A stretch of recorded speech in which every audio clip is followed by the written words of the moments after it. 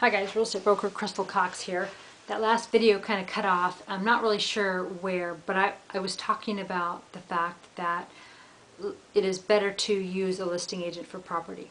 And I'm not exactly sure where the video uh, cut off and I will, I'll do more on that topic later. But I just want to say for the selling side of it, if you hire a real estate agent to sell your property, do you want them to list the property and then ignore it?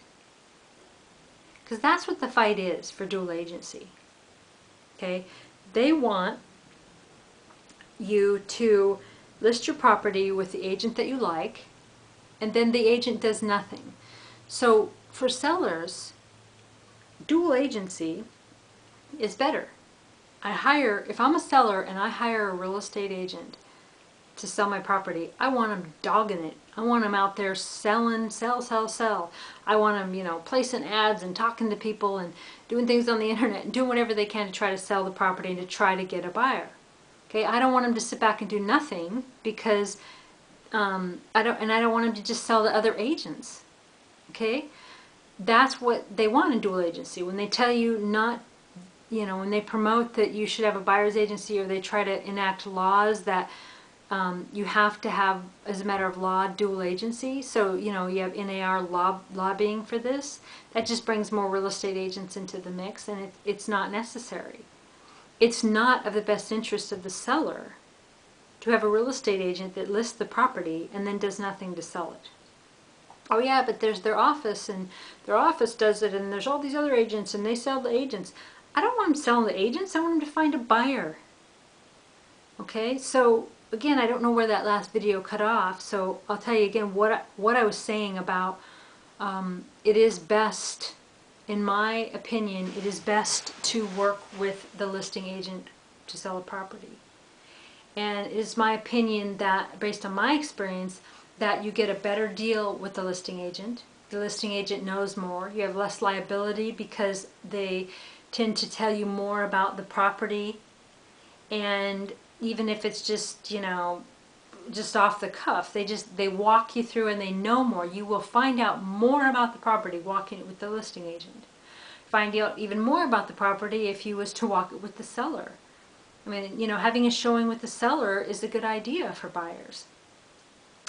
Um, I also gave an example of once where I had faxed an offer, a property been listed for years, and I faxed an offer to Century 21.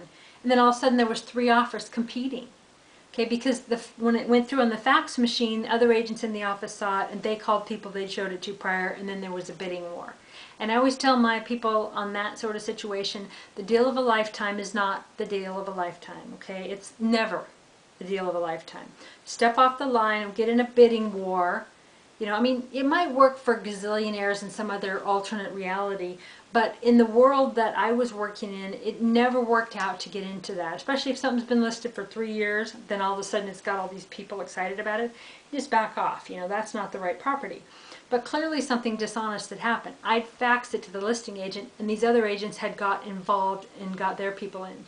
Whereas if I was the buyer and I was working directly with the listing agent, that wouldn't happen.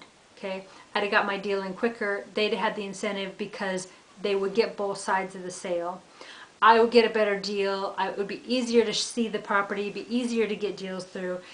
Um, as I said in previous videos, people argue with me all the time saying it's it's better for real estate consumers if the buyer's agent represents the buyer, seller's agent represents the seller, then they each have someone representing them.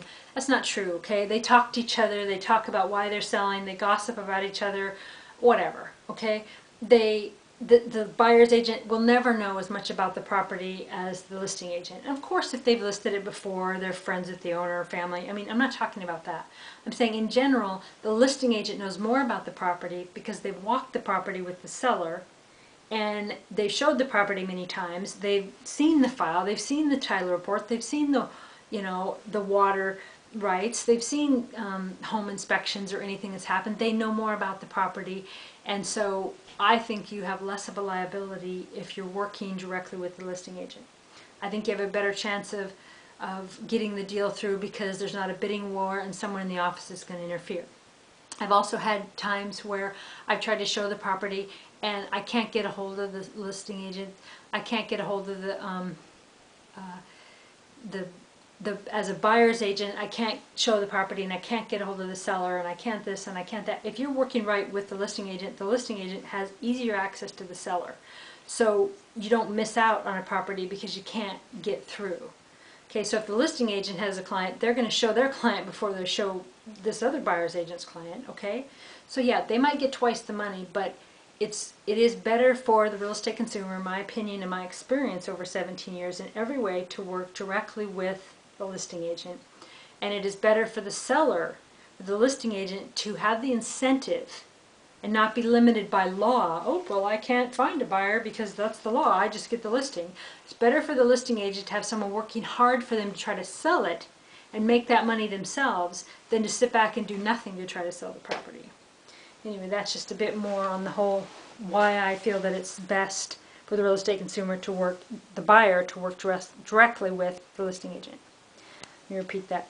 It is best, in my opinion, in every way for the buyer to work directly with the listing agent on a property and not have a separate buyer's agent.